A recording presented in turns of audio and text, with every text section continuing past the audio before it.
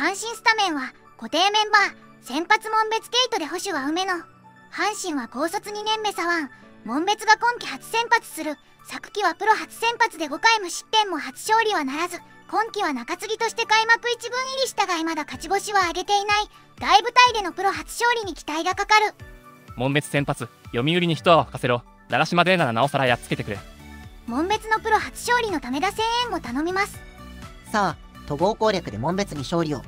もんちゃん応援してるよ。門別よ。巨人をキリキリ舞いさせろ。門別頑張って怪我しない高橋遥人になろやっぱキャッチャー梅野やった。頑張って。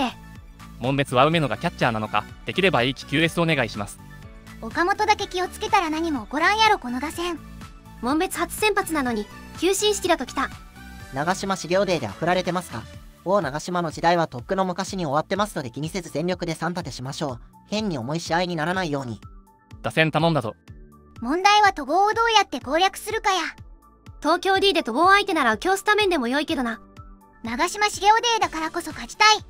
門別と梅野か。明日は西勇輝と坂本のバッテリーか。このカードは梅野のみか。う門別のプロ初勝利のためだ選手会から爆発していく。ノイジー調子ええけどタイト号全然あかんよな今日は前側でもよかったで戸郷から打ってるし。